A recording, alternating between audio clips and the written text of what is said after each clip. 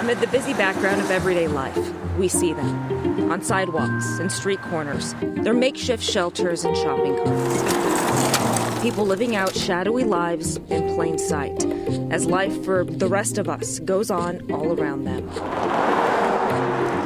It is a frustrating, complicated presence with no easy answers, but one that people you'll meet are determined to solve, one hard victory at a time.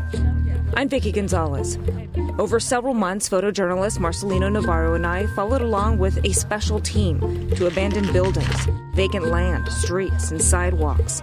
Tonight, those struggling on the streets and those seeking solutions. Each of them with their own stories to share. We're starting off in February, 11 months ago. I worked patrol for about four and a half years. I was a field training officer out here, and I had a, lot of experience um, with homeless individuals because we get so many calls for service just on the patrol end.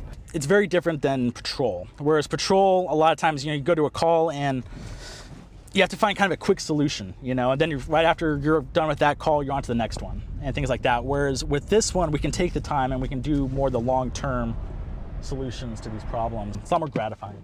Deputy Matt Hovermail is one of seven members of the Sacramento County Homeless Outreach Team. That is seven deputies for the entire county of Sacramento. And County of Sacramento, that's over 900 square miles. The goal of the HOT team is not to criminalize those experiencing homelessness, but to connect them to services and housing. Yeah, it's definitely not like one thing that's causing all this. It's multifaceted. It's you know mental illness, the drug use, there's the lack of you know shelter and housing, all while balancing complaints from residents and business owners. But you're not interested in housing? The reason why I'm not interested in housing. Uh, Our first stop, Marconi and Fulton. So if housing's not for you, then you need to make this work for you. And that means not having so much stuff with you. David has been on the streets for more than a year, staying at the Sacramento Public Library in Arden for a couple weeks. They told me to pack up and leave. How do you feel about that? It's understandable. What would you like people to know about, you know, just your situation and about what's happening? Um, uh, not really none. Just uh, hope they don't get in this situation themselves. You know, and that's about all.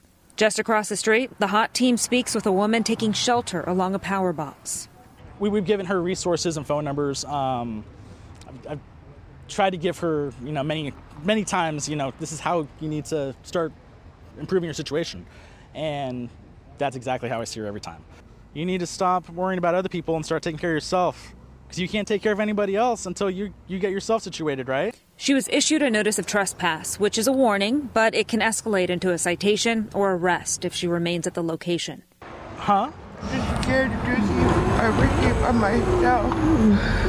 Well, what are you scared? What are you scared of? To do things by myself. Okay, well, you know, you, I mean, you have to take care of yourself, okay? I know it's scary, I know, but you got to look at it like, hey, I'm making progress. You know, you're, you're making that phone call, like we said, that's what you're gonna do, right? To make that phone call, those numbers I gave you, okay? In addition to what I'm gonna do on my end, and we're gonna start trying to get some progress here, okay?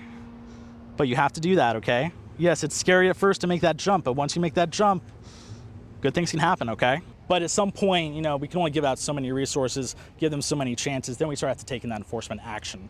Um, otherwise, they'll they'll stay here, just like this. Deputy Hovermail knows both David and the woman on a first name basis. So David over there, who has the orange shirt over by the Taco Bell, um, he's someone that we've been constantly just talking to. Um, he is not interested in housing. Um, he says it's too much like you know jail or prison or something like that.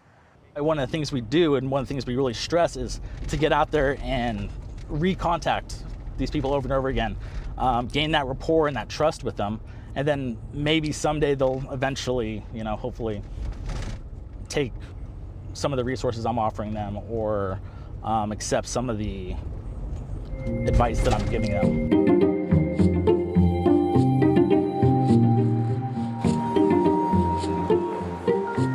Our next stop off Morse and Arden. This individual that we're going to go see right now, um, she's been offered housing. She was actually offered um, housing actually not too long ago, but declined it. That sounds- You're still downsizing? Okay. Yeah, because I mean we're still getting complaints. You know, um, it wasn't as right after we kind of downsized or you gave up a lot of that stuff and all that. It wasn't as bad, uh, but now the complaints are coming back in. How long have you been in this area? Uh, quite some time now. Five, s- s- five years. Even though she can't talk, she's my best friend. We talked about it yesterday that that medical issue is gonna is gonna get a lot worse if you don't take care of it. The HOT team is connecting Marshala with Elica Health Center, which offers free medical services. So what's your long-term plan after you get Elka to check you out? Find a shelter that me and her can go to and get in there. Yeah. Okay. So, I'm done. with so you are down with the shelter, and if it accepts dogs? Yeah, Okay. But I'm done with this already. Yeah. Okay. I'm Well, we've we've talked about this for, for a while with you, just Yeah. you know, trying to get you in a in a position where Yeah. where where you, you can you can go into someplace medically. Do you think that they're trying to help you? Yeah, they actually care. They do. Today, she actually did say for the first time that she's willing to accept housing if we're able to find it, which is awesome. But you know, once I get them on and that, that starts rolling, I can't have you back out again. A lot of the success we have is from that rapport building. Um, they gain the trust, they know us by name, um, and just through those constant contacts we have with them. The majority of people the HOT team come in contact with have been experiencing homelessness for years. what I've found in my experience is that those people that have, you know, ended up on the streets because they've been evicted or because of some type of, you know, financial hardship or traumatic event or whatever, a lot of times they're very much willing to work to get back to where they were. Deputy Havermail explains the challenges often involve deep rooted issues. Okay. I'd say a majority of them fall into either a mental health or a drug related um, category. Um, a lot of times they're using the drugs to self medicate for a mental illness. Uh, we find that quite a bit. If you get people, I think, off the drugs, if we get people the mental health treatment that they need, I think they might be more willing or more capable of accepting the uh, accepting the shelters and the, you know kind of working toward that.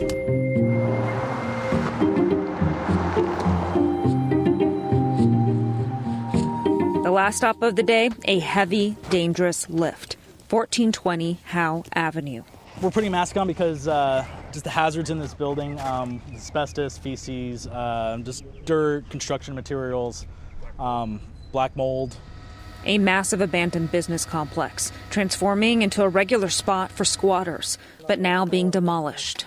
every board you see has been a point of entry uh, that they've been using to get inside the building it's a camp Any idea how many people were living here? It's a big. It's- It's, a big building. it's a big building um, i believe the n- biggest number we've ever pulled out is around it's in the teens maybe 20 um, and that was just you know at one point usually there's always at least a few people inside though For the past weeks, the HOT team has been making sure no one is inside and clearing out whomever remains before the complex is leveled. So, you know, building being demolished. You know, we have the date that they should be gone. Despite notices to vacate, people are still inside, hiding in squalor. I mean, it doesn't surprise me because I've been here so often. Um, but the first time I came in, absolutely. Yeah, because it's just, you don't see stuff like this. From used needles to people setting indoor fires, human waste, not to mention toxic building materials. The hazards are everywhere. And even going through the building, this is kind of like a maze, and just mm-hmm. protecting yourselves when you're when you're responding to this or getting people to vacate. I mm-hmm. mean, there's just a lot of different doors and a lot of different rooms. Which is why when we're doing this building in particular, we always make sure we have like the full team with us um, for that extra safety. One moment, the hot team is weaving through dark, abandoned sections.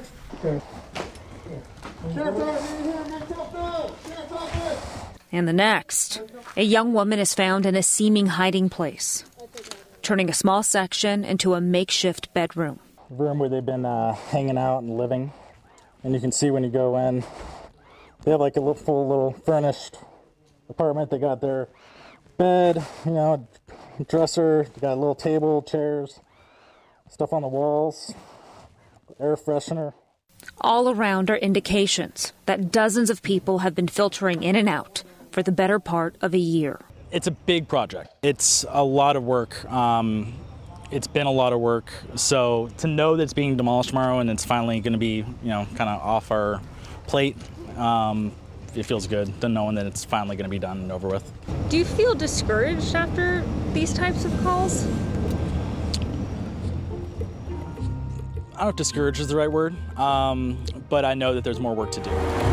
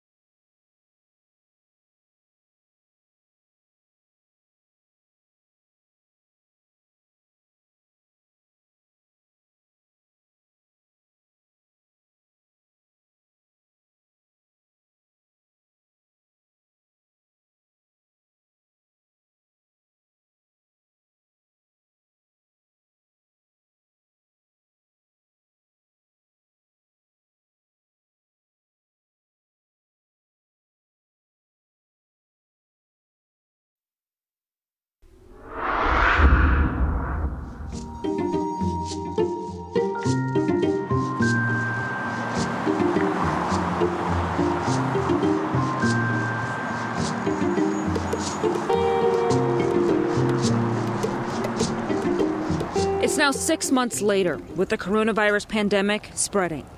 Where's her tent? There are new precautions in place and new efforts to protect people living on the streets. Oh, there she is. Sergeant Christy Lynn is leading the hot team through unprecedented times. But the faces, they're familiar. How are you doing today? Tired. Yeah? You're not sleeping well? Marshala is still sleeping in the same spot we met her at six months ago. If we did a cleanup of this area, would you be able to would you be willing to like move for a day so that we can get in here and do some like serious cleaning? Yeah. Okay. Uh, I got your word on that? Yeah. Okay, cuz we'd have to set it we'd have to set it up mm-hmm. to get what we need to clean. Yeah. And I don't I don't want to get everybody up and the, and then, Yeah, you know. Oh, okay. Actually, a lot of this stuff I want. I don't want any. You want to get rid of it? Yeah. So. Okay. And you're still not interested in in going to the the hotels? Okay. All right. Well, we, we want to check. I know. I know you've said it. Hey, that's good. All right. This is good stuff. We'll keep moving forward, all right? Yeah. All right. Gotta be good neighbors to everybody around here. So twice we've gotten her approved for housing. And at the, at the last minute, she's just decided it's not really for her. Do you want to stay out here or do you want to find housing? I don't want to stay out here no more. Uh, What's preventing you from finding housing? Because they're trying to connect you with services. Um. Huh. It's kind of hard to say. Um. A bunch of different things, honestly. Just got too comfortable, I guess you could say, out here. But yeah, I just. I guess I'm being stubborn and selfish at the same time. What do you? What is your concern level when it comes to COVID and the risk of getting sick? Honestly, it's kind of hard because of a question because um me personally, I'm already my health has already gone to hell. It's already shot. So as far as COVID and getting, you know, the possibility of actually catching it, bring it. Because you know what? I, I'm already out here, so you can't stop it if it does. How did the conversation go out there? Oh, good. We have a good relationship with her. You know, we kind of know what she's willing to do and what she's not, but we always ask anyway. Um, so she has a tendency to think of, you know, what what's tomorrow going to look like if I go to a hotel, not long term. And we're trying to get her to think more long term. In response to COVID 19, the state created Project Roomkey, which provides free housing for high risk individuals experiencing homelessness.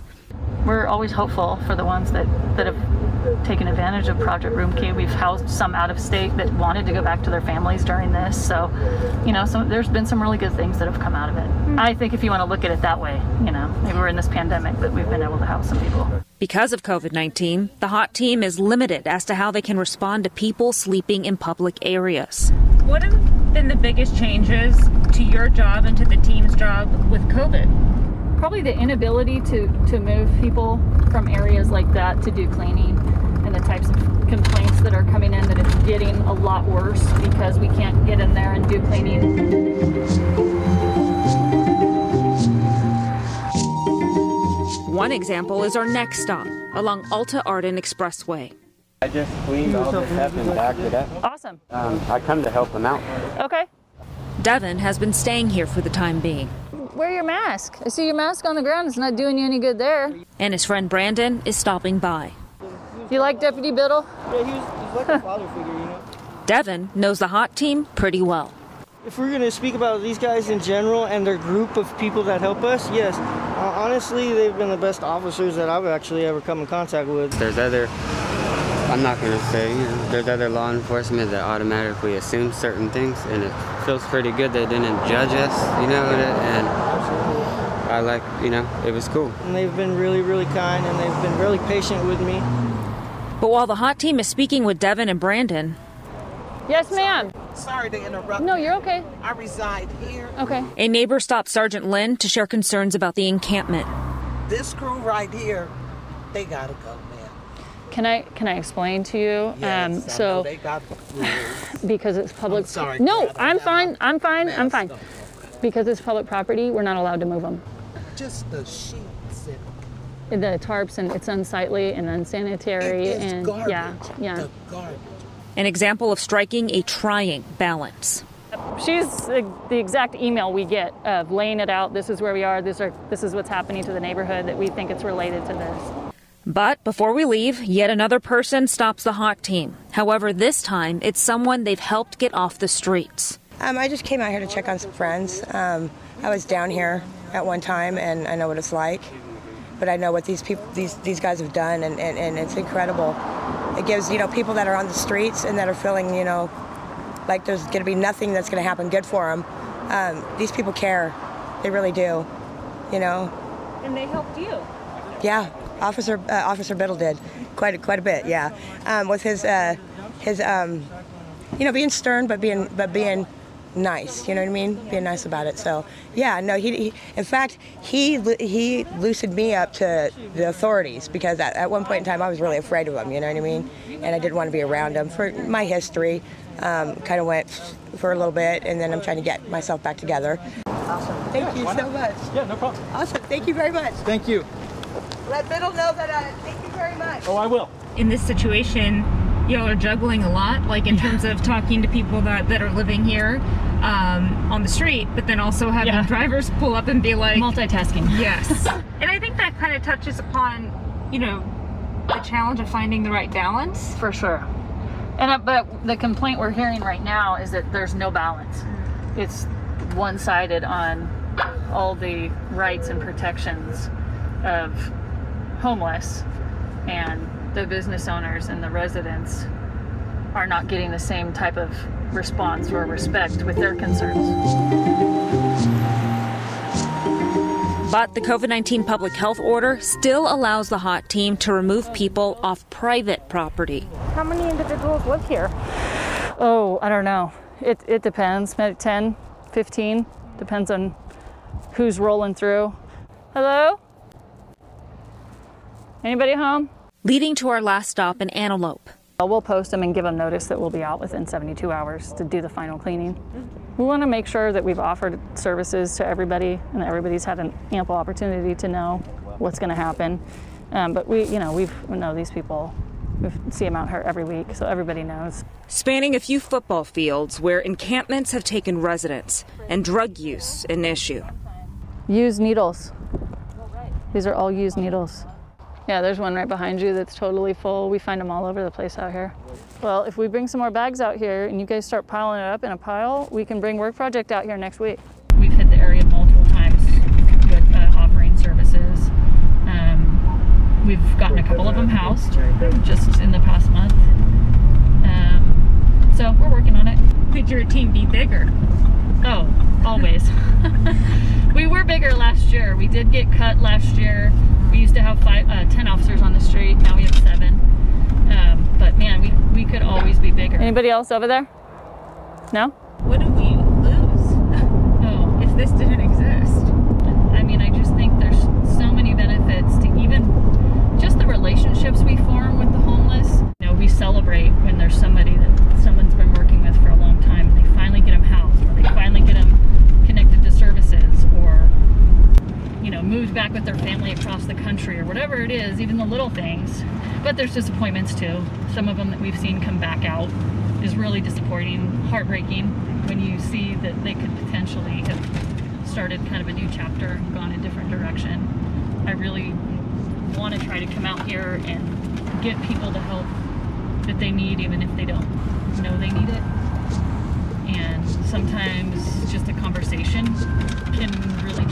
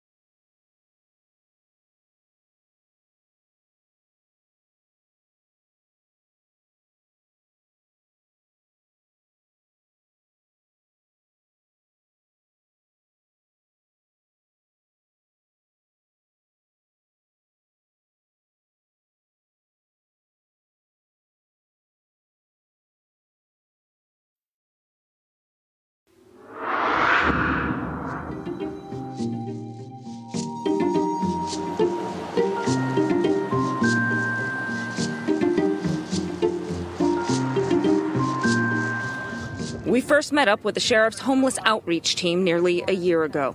Followed them from campsite to campsite as they reached out and worked one on one with those living on the streets, in abandoned buildings and open fields to help them find better lives. Have a good one, all right? Thank you. A week before Christmas, we caught up with them again. This time, spreading a bit of holiday cheer. Thank you. You're welcome. Dog food for the pup? Today we're handing out uh, holiday gift bags to all the homeless in the area.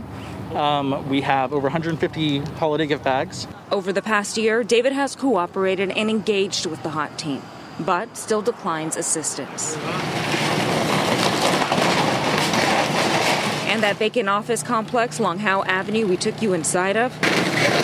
Completely demolished. No longer a home for squatters and drug users. As for Marshala, We're out here giving out the holiday bags, okay? a month or two ago, she actually accepted housing for the first time. Inside we got a whole bunch of like snacks, drinks. Uh, there's like a new like knit cap for you. Okay, Okay, so yeah. try and keep warm. But for reasons not entirely clear, it didn't work out. It's my understanding that she decided to leave on her own and has come back to her old spot. What happened the last time? What went wrong, do you think? Because they didn't listen to me when I told them I needed certain things for my medical condition and they kicked me out.